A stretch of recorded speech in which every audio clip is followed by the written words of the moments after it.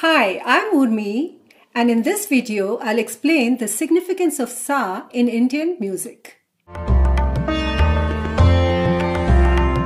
Sa re ga ma pa dha ni are the notes of the Indian music scale.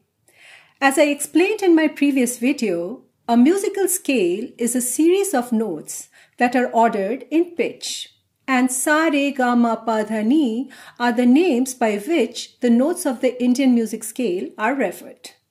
Now the basic question is, where are they or how do we sing them? Let's start with Sa. Sa is the first note of the Indian music scale. So how do we sing Sa? Would you believe that any musical sound can be Sa? Well, that's exactly what it is. Sa is not associated to a fixed pitch. It can be any musical sound. It could be Sa sa or sa or any other note. Does that sound complicated or confusing? Perhaps, but in fact, this makes singing so much easier because in Indian music, a singer can choose sa depending on where he or she is comfortable singing. Let's look deeper into this. Sa re ga ma pa dha ni are the notes of the Indian music scale. Sa is the first note of the scale. It is also the defining and the root note of the scale. The other notes, that is re, ga, ma, pa, dha, ni, are defined relative to sa. They are at a certain interval from sa. So when you move sa, re, ga, ma, pa, dha, ni, move relatively and the entire scale shifts in accordance. For example, let sa be the note G. So sa is sa. Then the scale is sa re ga ma pa da ni sa. Now let's make sa a little bit higher. Let's play B flat. So sa would be sa and the scale would be sa re ga ma pa da ni sa. Now let's make Sa even higher to D. This is Sa. Sa. And the scale is Sa re ga ma pa da ni sa.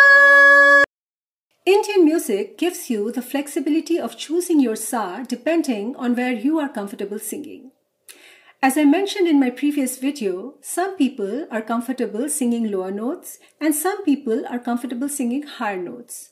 So if you're natural, uh, if you're naturally comfortable singing lower notes, then your sa can be lower. And if you're naturally comfortable singing higher notes, your sa can be higher.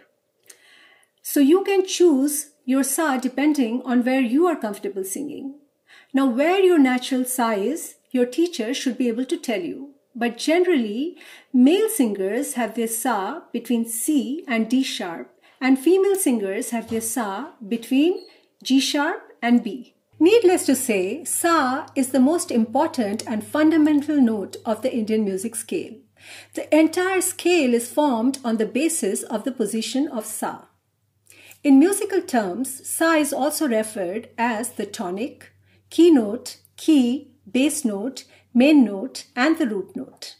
You may have noticed that traditionally, Indian classical music is accompanied by the tanpura. Now, tanpura as an instrument does not play the melody. Then what is the importance of tanpura and what role does it play? Tanpura is a drone instrument that provides sa in the background. As you now know, sa is the basis on which the entire musical scale is formed. So it is important for musicians to be able to hear sa at all times so, so, that they know where all the notes are and they can build the melody on that basis.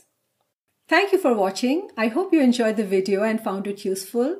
Do check out my other videos in this channel and don't forget to like, subscribe and come back for more.